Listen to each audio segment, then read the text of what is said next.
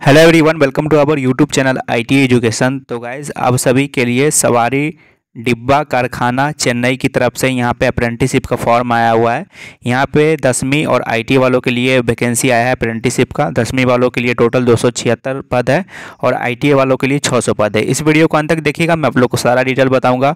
तो फॉर्म भरने के लिए और पीडीएफ के लिए आप लोग को मेरे वेबसाइट पे आना होगा www.iteducation.com पे।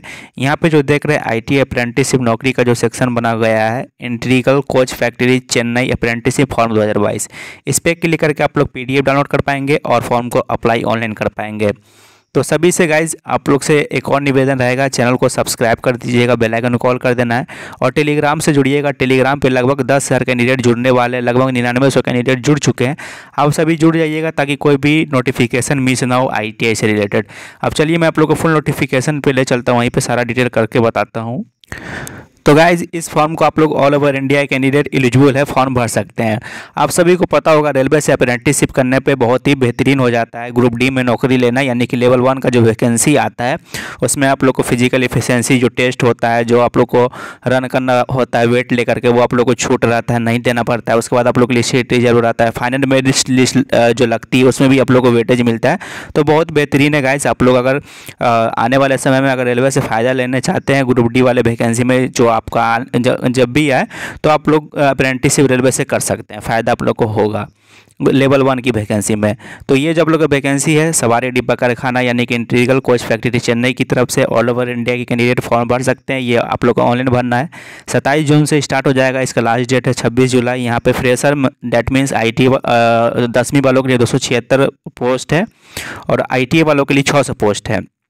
अब यहाँ पे देखिए जो फ्रेशर के लिए कारपेंटर में सैंतीस सीट है, आईटी वालों के लिए पचास सीट है, इलेक्ट्रीशियन में दसवीं वालों के लिए बत्तीस सीट है, आईटी वालों के लिए एक सौ छप्पन है, फिटर में यहाँ पे दसवीं वालों की पैंसठ सीट है, आईटी वालों के लिए एक सौ तैंतालीस है, मशीनिस्ट में चौंतीस यहाँ पे उनतीस आईटी वालों के लिए पेंटर में, दसवीं वालों के लिए तैंतीस और आईटी वालों के लिए पचास, वेल्डर में पचहत्तर सीट है और यहाँ पे एक सौ सत्तर सीट आईटी वालों के लिए यहाँ पे पासा में सिर्फ़ ओनली आईटी वालों के लिए दो सीट है।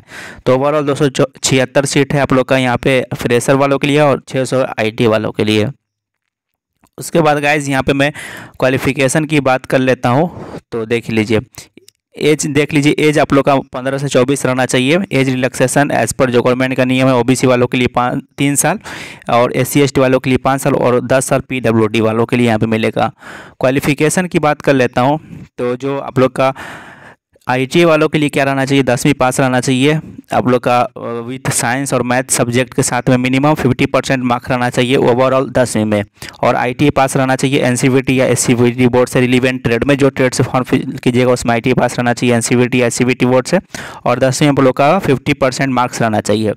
और सब्जेक्ट आप लोग को रहना चाहिए साइंस और मैथ और ये आप लोग का एक साल का ट्रेनिंग होगा, जो आई पे भरिएगा और जो दसवीं पे भरिएगा, इसमें आप लोग का दो साल का ट्रेनिंग होगा। इसमें आप लोग को सिर्फ़ दसवीं पास रहना चाहिए, फिफ्टी परसेंट मार्क्स आप लोग का रहना चाहिए एग्रीग्रेट यानी कि ओवरऑल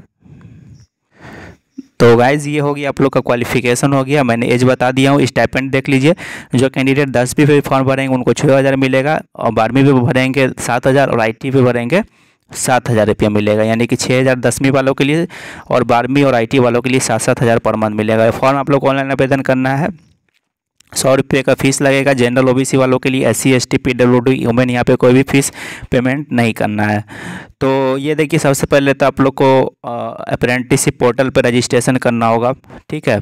वहाँ से रजिस्ट्रेशन कर लीजिएगा, देन आप लोग इसके वेबसाइट पे जाके आवेदन कर दीजिएगा। वो मेरे वेबसाइट पे लिंक अवेलेबल आपको उतना ढूंढना नहीं होगा। आप जाके बस मेरे वेबसाइट पे आवेदन कर दीजिएगा, जो कैंडिडेट फॉर्म भरना चाहते हैं। सिलेक्शन प्रोसेस आप लोग का मेरिट लिस्ट के आधार पर सिलेक्शन होगा। एग्ज़ाम देना नहीं है, सिर्फ़ मेरिट लिस्ट के आधार पर भर्ती होगा।